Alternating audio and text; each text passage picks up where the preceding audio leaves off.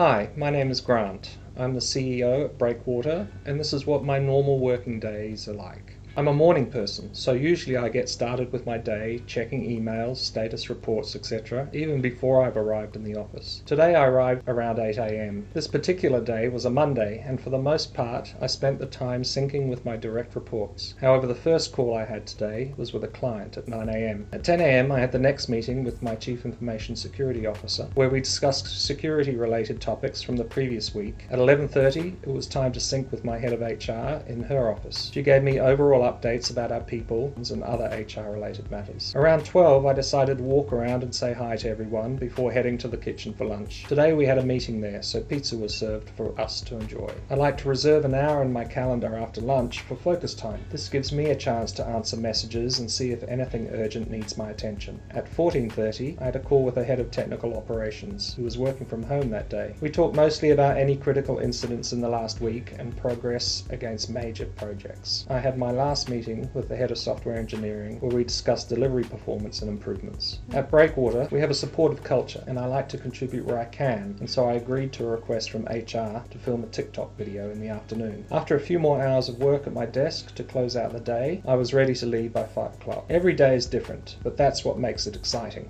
I hope you enjoyed seeing one of my work days at Breakwater. Thank you for watching.